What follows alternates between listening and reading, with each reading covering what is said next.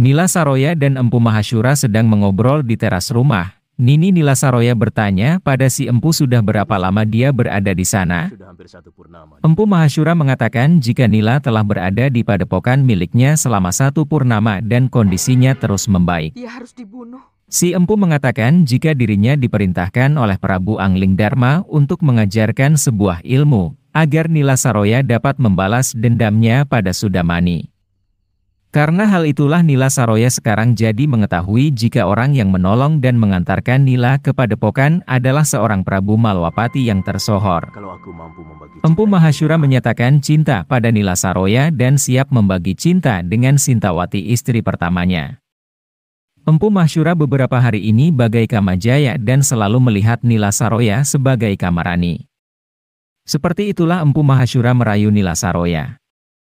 Istri sah Empu Mahashura tentu saja langsung cemburu ketika melihat muda-mudi itu saling berpelukan mesra. Suliwa terus berlatih jurus pedang bersama Galuh Parwati, sepertinya saat ini Suliwa sudah semakin ahli dalam menguasai ilmu bela diri. Suliwa begitu mudah menyerap semua ilmu yang diajarkan di padepokan itu. Suliwa begitu ingin segera diajari ajian Desendria, Empu Mahashura kebetulan lewat tempat itu bersama kekasih barunya, Nila Saroya. Empu Mahashura menghampiri Suliwa jika ajian Desendria adalah ilmu yang begitu susah untuk dipelajari, karena memerlukan kecerdasan dan daya ingat yang tinggi.